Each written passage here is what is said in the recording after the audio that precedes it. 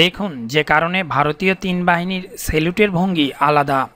ভারতীয় সেনাবাহিনীর কোনো অনুষ্ঠানের সাক্ষী হয়ে থাকেন, তাহলে নিশ্চয়ই লক্ষ্য করে থাকবেন, তিন বাহিনীর সেলুট করার ভঙ্গি তিন রকম। নৌবাহিনী বিমান বাহিনী ও সেনাবাহিনীর সেলুটের ভঙ্গি আলাদা।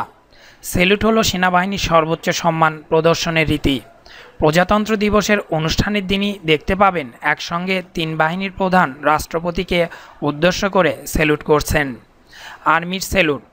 স্থলবাহিনীর সেলুটে হাতের তালু সম্পূর্ণ খোলা থাকে, যাকে সেলুট জানানো হচ্ছে তার দিকে উন্মুক্ত থাকে। এই রীতির বিশেষত্ব হলো, এর মাধ্যমে দেখানো হয় তিনি কোনো অস্ত্র বহন করছে না ও তাকে সম্পূর্ণভাবে বিশ্বাস করা যায়। Navy salute. একসময় যখন নৌবাহিনীর সদস্যরা জাহাজে কাজ করতেন, তখন সাধারণত তাদের হাতে নোংরা হয়ে থাকত। তাই তারা হাতের তালু নিচের দিকে রেখে সেলুট করা শুরু করেছিলেন, যাতে সিনিয়রদের অসম্মান না করা হয়। সেই রীতি এখনও চলছে।